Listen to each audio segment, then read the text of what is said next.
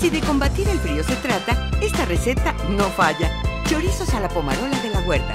En una sartén con oliva, saltea vegetales, dora los chorizos previamente hervidos y cubrirlos de puré de tomate bagio de la huerta.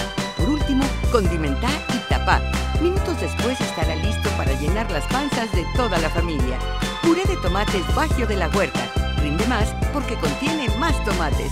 Bagio de la huerta. Mucho más rendimiento para compartir.